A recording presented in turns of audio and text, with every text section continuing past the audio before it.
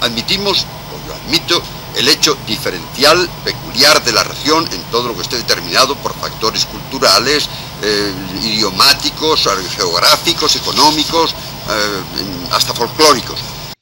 Una anécdota curiosa es que a veces las cosas por querer quedar bien quedas mal.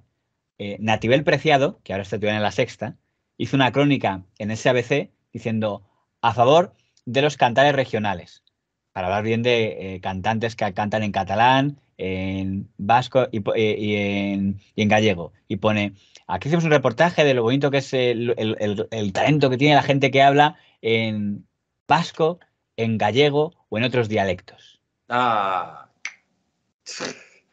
fallo de primero, ¿eh? llamarlo dialecto, ya. Ellos pensaban que estaban haciendo un favor de, oye, estamos hablando de lo que otros no hablan, del catalán, de los artistas que escriben en catalán y en gallego. Y publica un periódico catalanista que ya no existe, que era Telexpress, una nota firmada por Sagarra diciendo, he leído el artículo de Natibel Preciado que escribe en ABC, aunque quizá debería escribir en Ola. Ojo a la connotación de, la referencia.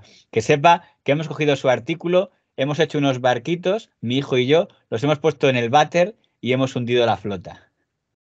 Eso puesto en pleno año 70 y 1,71 por ahí, dices, acaba de decir, creo que acaba de decir que sean... Sí, que se cagan básicamente.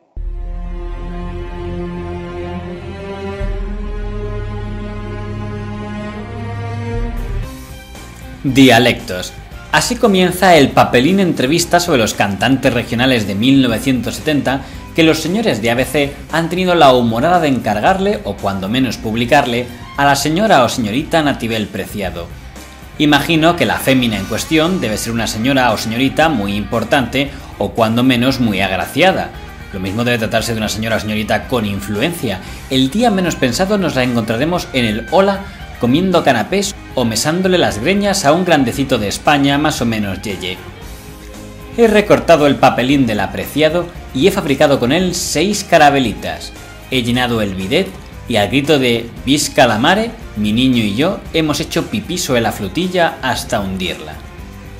Sí, el señor de Ságara estaba diciendo que se había meado en el artículo de la señora Apreciado.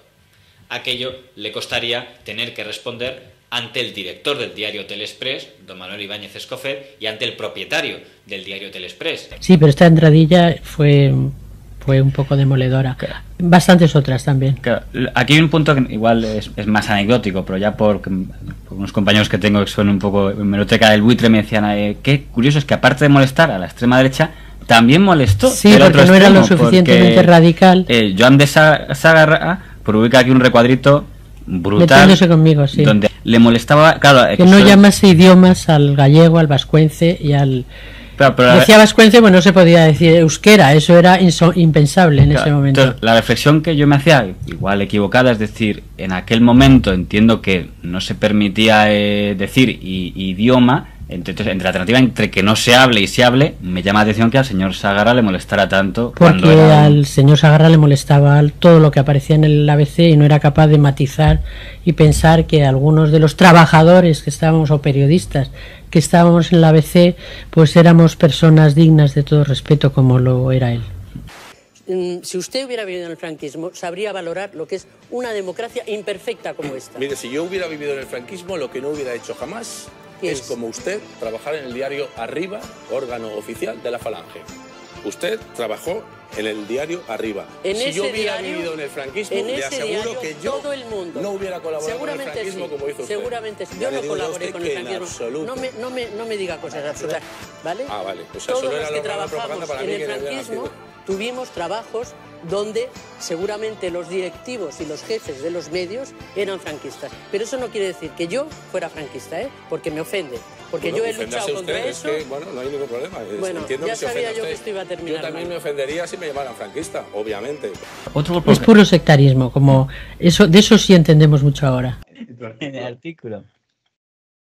Sí, sí, evidentemente es que lo de, a ver, porque tanto el gallego como el euskera y como el catalán son idiomas, son eh, lenguas, pero dialectos. Ahora son, eh, ahora es el año 78, idiomas con el mismo derecho que el castellano, pero que eran en aquel momento.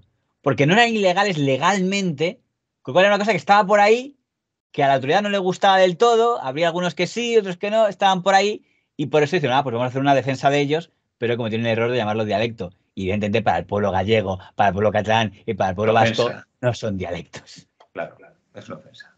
Pero me decía el Preciado, yo pensaba que les hacía un favor, pero me cayeron por los lados los extremistas diciendo que hacen publicitando esos, esos cosas eh, que no son el español. Y por otro lado, también se ofendieron, por decir, oye, le has llamado dialecto a lo que es un idioma, ¿no? En fin, ahí claramente había, había buena intención. Por la escudería, no está en escudería ABC, pues ya todo. Si está en ABC no puede decir nada a favor, o sea que aunque saque a todos estos cantantes que son, bueno, imagínate en esa época, eh, los conciertos se prohibían de, de muchos de ellos y entonces pues le parecía que no, que la ABC por algo lo haría, ¿no? y no era capaz de distinguir. Yo era muy joven de todas formas y no me conocían lo pues, suficiente. aunque, ya tío que ya tan joven ya hubiera bofetada. Ah, bueno, bueno, eran las trincheras como ahora, siempre ha habido trincheras.